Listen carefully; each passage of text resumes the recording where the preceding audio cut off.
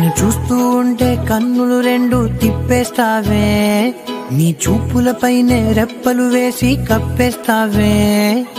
కనిపించని దేవుణ్ణే కన్నార్పక చూస్తావే. కన్నుల ఎదుటే నేనుంటే కాదంటున్నావే.